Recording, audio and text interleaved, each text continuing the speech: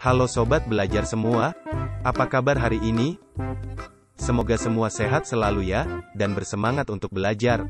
Pada kesempatan kali ini, materi yang akan kita bahas adalah bunyi panjang dan bunyi pendek.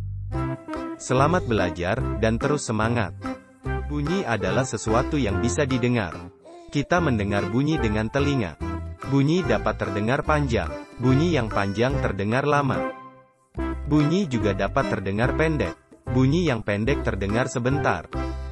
Jadi bunyi panjang adalah ketika bunyi yang dihasilkan dengan suara atau getaran yang panjang atau lama. Dan bunyi pendek adalah sebuah bunyi yang dihasilkan dengan suara atau getaran yang pendek atau sebentar. Berikut, contoh-contoh bunyi pendek. 1. Suara orang sedang batuk. 2. Bunyi beduk dipukul.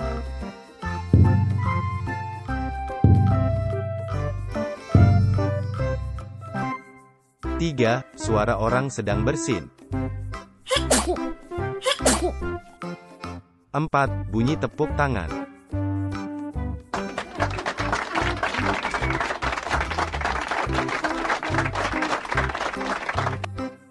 5. Suara pintu diketuk.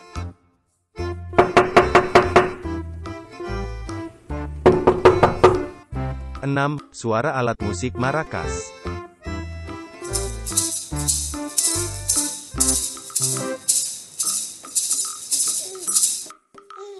7. Suara alat musik drum.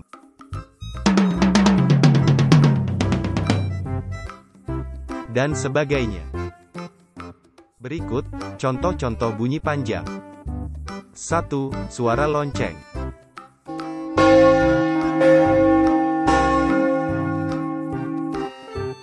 2. Bunyi alarm jam waker.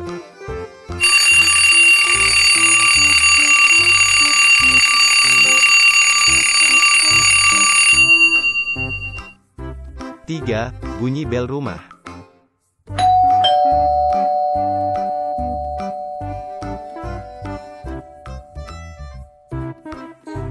Empat, suara serigala.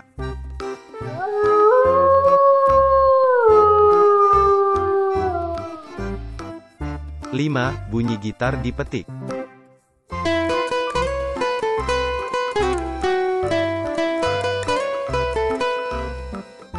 6. Bunyi alat musik triangle.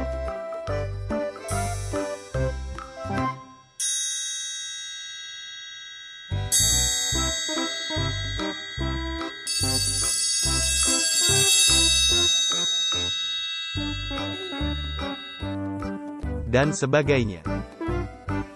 Demikian tadi, video pembahasan tentang bunyi panjang dan bunyi pendek.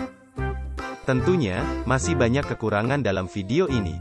Silahkan komen positif di kolom komentar ya, dan jangan lupa like dan subscribe-nya. Terima kasih, tetap semangat, salam sehat Indonesia, dan sampai ketemu di video berikutnya.